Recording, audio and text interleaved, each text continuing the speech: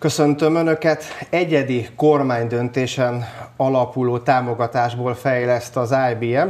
Ennek apropóján stúdiónk vendége Szijjártó Péter külgazdasági és külügyminiszter. Miniszter úr, köszöntöm a stúdióban. Jó napot kívánok! Beszélgetünk mindjárt az IBM-ről, előtte azonban picit tekintsünk így a, a nagyvilág dolgaira. Ugye, hát sajnos itt vagyunk a második hullám, hát kellős közepén, mondhatjuk így. Ezt nem tudjuk, de a második hullámban az egészen biztos. Uh, ugye sajnos is megtapasztalta ugye a COVID-19-nek a hatásait. Hol tart most, hol tartanak most a, a vakcinagyártások? Mit lehet erről tudni? Hát nézze, szerintem mindenki, aki elkapta ezt a vírust, az egyöntetően tanácsolhatja a többieknek, hogy próbálják meg a lehető legmesszebb elkerülni. Nagyon súnyi, alattomos vírusról beszélünk, amelyel kapcsolatban még mindig azért jóval több a kérdés, mint a válasz. Ez, ez jól látszik az egészségügyi szakemberek megfeszített hát, hogy is a munkája kapcsán is. A, nyilvánvaló, hogy a védőoltás jelenti az igazi megoldást. A védőoltáson ennek megfelelően dolgoznak is tőlünk keletre és tőlünk nyugatra is gőzerővel.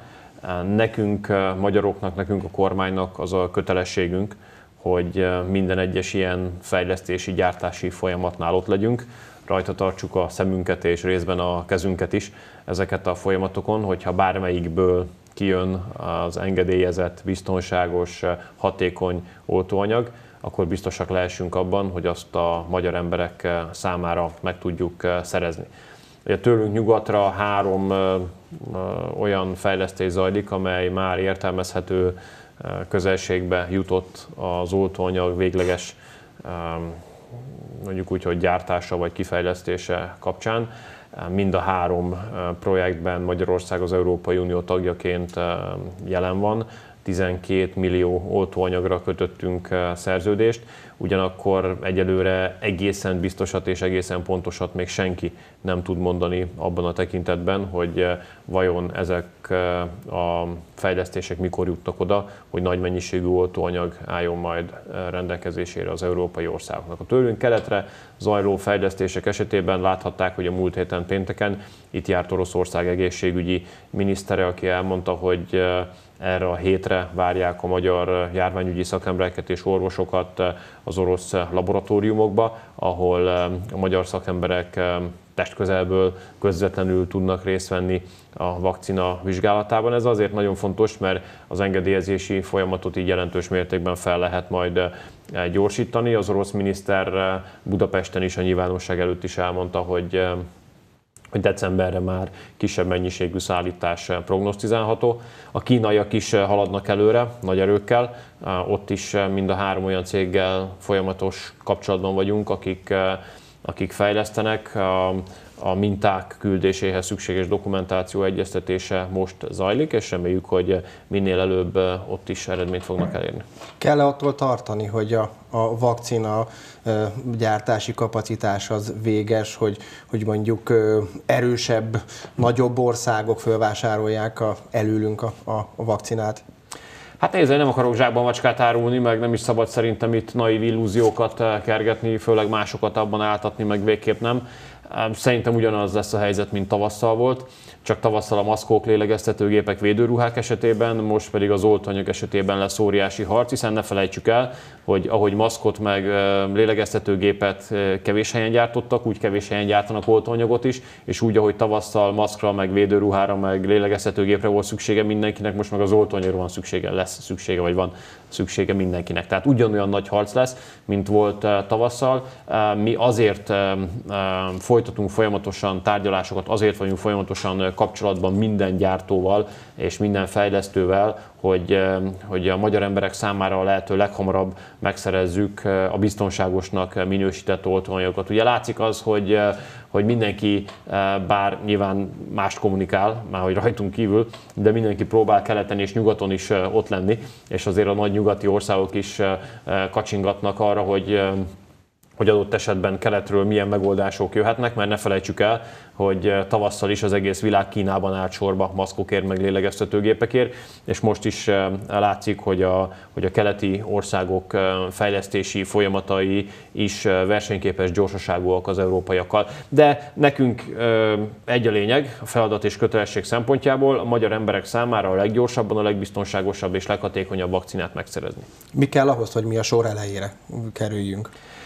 Hát nézd, először is az kell, hogy folyamatos kapcsolatban legyünk és folyamatosan tárgyaljunk, a tisztelet nyelvén eh, szólaljunk meg, kioktatás, leckésztetés, eh, eh, vádak megfogalmazása az most nem vezet előre, tehát az, hogy mi a keleti partnerekkel is folyamatosan a tisztelet hangján beszéltünk, a kapcsolatainkat a, a, az észszerűségre és nem az ideológiai vitákra alapoztuk, az most megint csak kifizetődni látszik. Kifizetődni látszik a beruházások tekintetében is, hiszen tavaly keletről több beruházás jött már Magyarországra, mint bármikor korábban és most is, amikor az oltóanyagról tárgyalunk, akkor, akkor azt gondolom, hogy bebizonyosodik, hogy helyes volt a keleti nyitás, helyes volt, hogy idejében léptünk, és helyes volt, hogy nem ilyen politikai, ideológiai vitákkal töltöttük az időt, hanem az észszerű együttműködés felépítésével. És ugyan egy fél mondattal már kitérten arra, hogy ugye magyar szakemberek az orosz szakemberekkel együtt dolgoznak, de akkor azt leszögezhetjük, hogy bárhonnan érkezik hozzánk bármikor vakcina, akkor azt a magyar szakemberek meg fogják vizsgálni? Hát nekünk a vakcina sem nem ideológiai, sem nem politikai kérdés. Tehát Szerintem mindegy, hogy honnan jön a vakcina, hogyha a magyar emberek, magyar szakemberek, a magyar járványügyi szakemberek és orvosok bevizsgálják, és azt mondják, hogy a saját értékítéletük szerint az biztonságos és hatékony, akkor mi alapján mondjuk azt a magyar embereknek, hogy nem, ezt nem fogjuk használni, vagy milyen alapon kérjük őket arra, hogy ne használják. Tehát én értem azt, hogy nagy gyógyszeripari lobbik megindultak, értem azt, hogy ezek a nagy lobbik politikusokat is megkörnyékeztek. Értem azt, hogy ilyen politikusok lehetnek Magyarországon is, meg Brüsszelben is, meg mindenhol máshol, de még egyszer mondom, minket semmilyen politikai vagy üzleti lobby nem tud eltántorítani attól, hogy, hogy a magyar emberek számára a lehető leggyorsabb megoldást keressük. És akkor térjünk át picit a gazdasági hatásokra, hogy a magyar gazdaságot is tépázza a koronavírus járvány és annak hatása. Ugye a magyar kormány amellett tette le a voksát, hogy nem a, a munkanélküliséget finanszírozza, hanem munkahelyeket szeretne teremteni, munkahelyeket szeretne megőrizni. Hol tart ez a folyamat? Hány magyarországi vállalat élt a kormány által kínált különböző lehetőségekkel? Valóban az egy nagyon fontos gazdaságfilozófia és gazdaságpolitikai döntés volt még az első hullám idején, hogy nem nem a munkanélküliséget, hanem a munkanélküliséggel szembeni harcot kívánjuk finanszírozni. Ebben a harcban pedig a magyar, magyar vállalatok a legjobb szövetségeseink, akik magyar embereket alkalmaznak.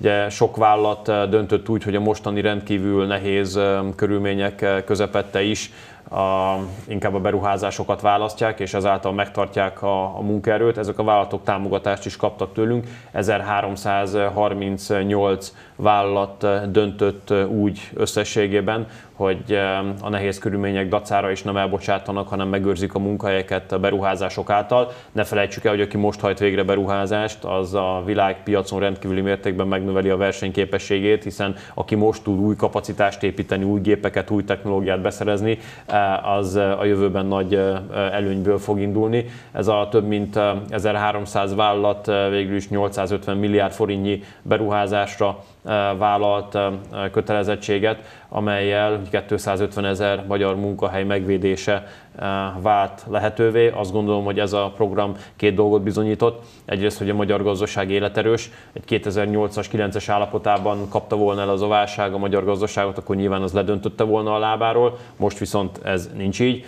és nyilván nagyon komolyak a kihívások, de az látszik, hogy, hogy a magyar vállalatok elég életerősek ahhoz, hogy most is ne automatikusan leépítésben vagy gyárbezárásban gondolkozzanak, hanem fejlesztésben és új munkahelyek létrehozásában, és biztos, bizonyítja ez a program azt is, hogy helyes volt az az elgondolás, hogy a magyar embereknek nem a segély, hanem a munka jelenti a hosszú távú kiszámítható életet.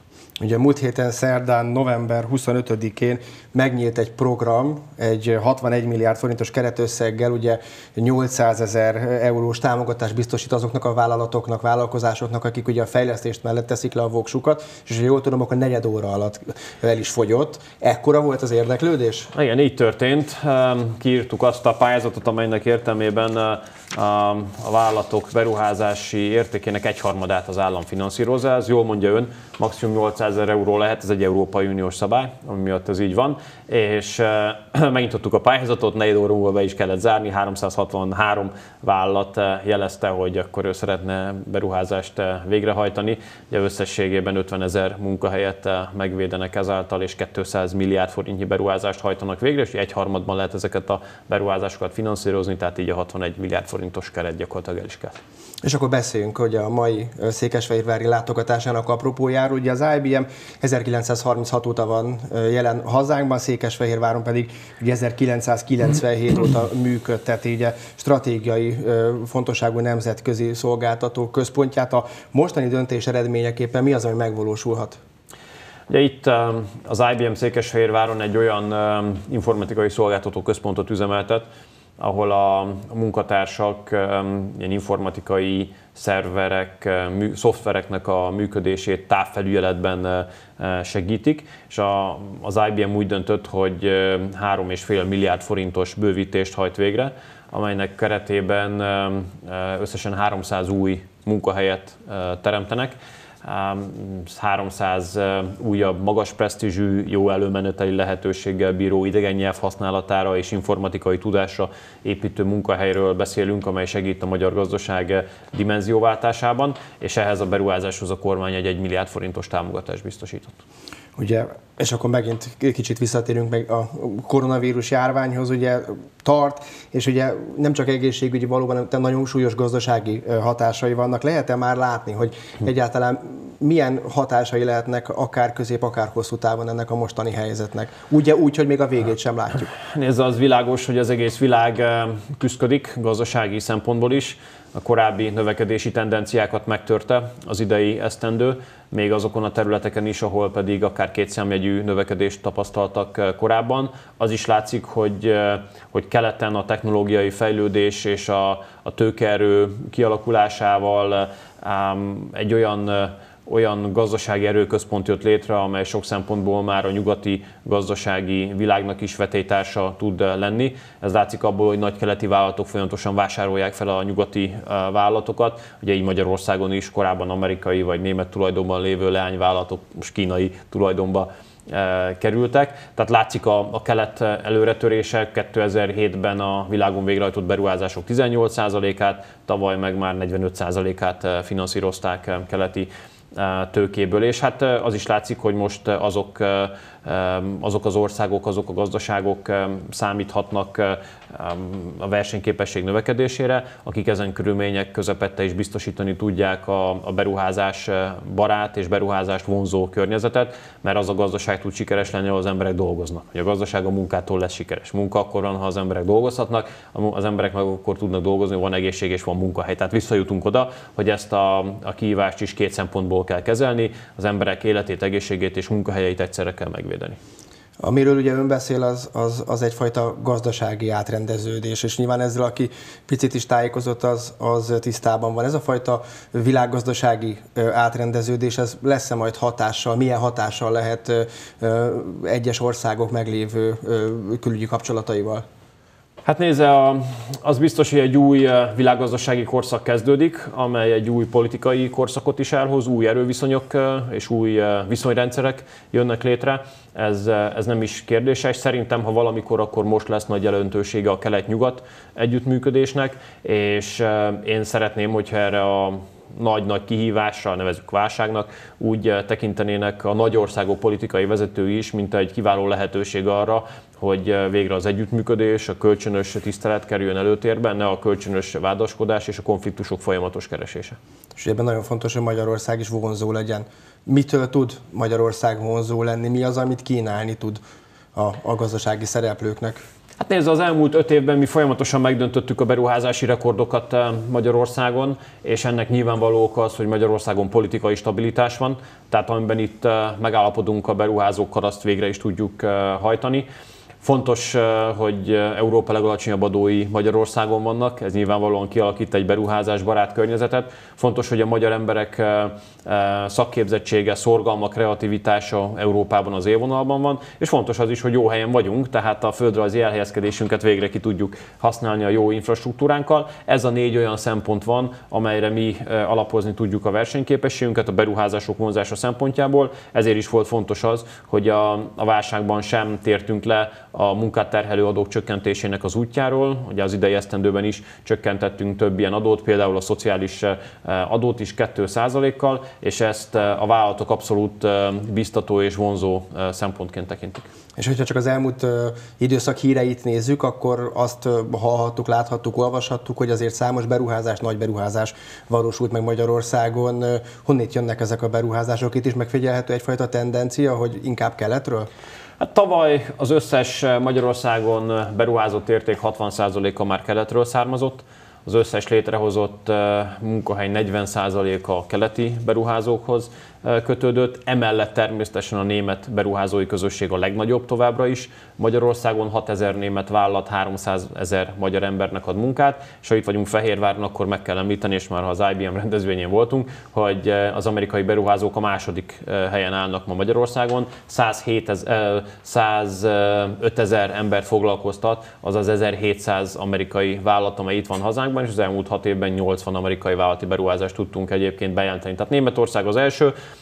az amerikaiak a másodikak, ugyanakkor világosan látszik az, hogy a keleti beruházók egyre komolyabb eh, szerepet eh, eh, adnak Magyarországnak, és amikor a nagy keleti vállalatok európai gazdasági letelepedésben gondolkoznak, akkor Magyarország nagy eséllyel az első között van a listán, főleg így van ez az elektromos autóiparban, ami nekünk azért rendkívül fontos, mert a magyar gazdaságnak mindig is egy gerincoszlopa volt az autóipar, az autóipar is átalakul, abban is új korszak jön, ami az elektromos meghajtásra épül, és Magyarországon jöttek létre a világ legnagyobb kapacitásai az elektromos akkumulátorgyártás, akkumulátorgyártás tekintetében.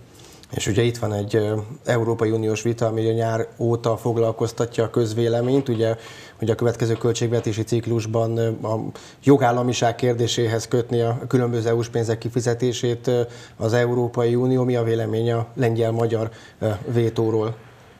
Hát nézze, azt tudom önnek mondani, hogy itt lenne az ideje, hogy leszámoljunk azzal a paradigmával, amely nagyjából úgy szól, és hazug egy beállítás egyébként, hogy a, az Európai Uniós források azok a brüsszeli jófejségnek a következményei, vagy a nyugat-európai barátaink humanitárius adományai a térségnek, ami nem így van. Az Európai Uniós források előállításában a magyar emberek is épp úgy részt vesznek, mint bármely más nemzet itt az Európai Unióban. A közös európai gazdasági teljesítményhez mi legalább annyira hozzájárulunk, mint mások, tehát ez részben a mi pénzünk is. Tehát azzal fenyegetni, hogyha politikailag Brüsszelnek nem tetsző döntéseket hozunk, akkor majd elveszik a pénzeket, ha nem engedünk be migránsokat, elveszik a pénzünket, hogyha patrióta politikát folytatunk, elveszik a pénzünket, ezért mégiscsak több a soknál tehát világossá kell tenni, hogy az európai források egyrészt közös források, másrészt pedig a kiosztáshoz a szubjektivitásnak, meg a politikai ideológiának semmi köze nincsen, hogy valaki valahol valamilyen szempontok alapján egyszer úgy dönthessen politikai okok miatt, hogy valakinek jár vagy nem jár uniós forrás, ez azt hiszem, hogy mindenki számára elfogadhatatlan, aki, aki nem ideológiai, hanem egy picit is mondjuk úgy, hogy a józanész talaján állva közelít ez a kérdéshez. És ebben nagyon fontos másik partnerünk az Amerikai Egyesült Államok. Új elnöke lesz az Amerikai Egyesült Államoknak. Mi változhat a két ország kapcsolatában? Hát nézd, én remélem, hogy, hogy a kölcsönös tisztelet fogja meghatározni az együttműködésünket továbbra is. Ez nem volt mindig így, ezt soha nem rejtettük vék alá. Trump elnök adminisztrációjával kifejezetten jó együttműködést tudtunk kialakítani. Nagyon sok minden köti össze az amerikaiakat és a, a, a magyarokat. Számos közös értéket vallunk, ezek közül talán a szabadság szeretete a legfontosabb. Ugyanakkor a gazdasági összefonódásunk is nagyon szoros, emellett pedig egy védelmi szövetségben vagyunk, tehát én nagyon remélem, hogy, hogy a következő időszakban is a magyar-amerikai kapcsolatuk sikertörténetét majd folytatni tudjuk mind három fejezetben, a politikaiban, a gazdaságiban és a védelmiben egyaránt. Ugye Anthony Blinken lehet az új külügyminiszter. Milyen együttműködésre számít vele? Hát nézze, én remélem, hogy a következő amerikai adminisztrációval beleértve a külügyminiszter tesz egy normális, józan észre és a kölcsönös tiszteletre alapuló együttműködésünk, mi biztosan nem leszünk ennek az akadálya. És ugye végezetül beszéljünk egy rekordon, mind a ketten sportot szerető emberek vagyunk. Ezt azt hiszem, hogy állíthatom, és szeretjük ilyen formán a, a rekordokat. Ugye holnaptól, december 1-től lesz ugye Orbán Viktor Magyarország leghosszabb időt, egészen pontosan 5262 napot hivatalban töltő miniszterelnöke. Ugye miniszter úr, miniszterelnök mellett az elmúlt tíz évet ilyen, olyan-amolyan tisztségben ugye folyamatosan végigkövete, végig dolgozta. Milyen vélemény erről a, erről a rekordról? Hát nézzél, meg emlékszem arra, amikor a bencésekhez jártam eh, Győrben, gimnáziumba, akkor a 90-es évek közepén egyszer a bencés atyák meghívták a miniszterelnök urat, hogy a nemzeti ünnepi rendezvényen ő mondjon eh, beszédet. Ez abban az időszakban volt, amikor eh, kezdett már kialakulni egy összefogás a polgári, kereszténydemokrata, akkori ellenzéki pártok között, ami aztán végül is ugye egy nagy politikai családdá nőtte ki magát, amely most már húzamosabb ideje vezetheti Magyarországot, és emlékszem rá, hogy akkor a hivatalos esemény után a miniszterelnök úr akkor még ellenzéki pártelnökként ott maradt velünk diákokkal, és hosszan, hosszan beszélgetett velünk, válaszolt a kérdéseinkre, és voltam 16-17 éves, de akkor már bennem ilyen álomként fogalmazódott meg, hogy majd egyszer én is politikával foglalkozhassak, és ha így lesz, akkor majd a, a miniszterelnök mellett dolgozhassam. Ez nyilván akkor még egy, eh, hogy is mondjam, távoli és nehezen eh, elérhető, és talán kevésbé reális eh, álomnak is tűnt, de aztán elmondhatom azt, hogy azok közé tartozom, akik, akiknek az álmai legalábbis ezen a szinten valóra váltak. Nyilvánvalóan nekem óriási megtiszteltetés. 2006 óta dolgozom szorosan a miniszterelnök mellett, először még ellenzékben, ugye voltam a szóvivője, a stábfőnöke, voltam a kommunikációs vezetője a pártnak, aztán a miniszterelnöki stábot is vezethettem, voltam államtitkár a miniszterelnökségen is, korábban a miniszterelnök úr mellett, ami egy óriási megtiszteltetés, és, és hát igyekszem a, a munkámmal megszolgálni azt a bizalmat, amelyet kaptam tőle az elmúlt esztendőkben, remélem, hogy sikerül. Miniszter úr, köszönöm szépen a lehetőséget, hogy eljött hozzánk. Köszönöm én is. Önöknek pedig a figyelmet, ez volt a köztér, maradjanak velünk a folytatásban és viszontlátásra.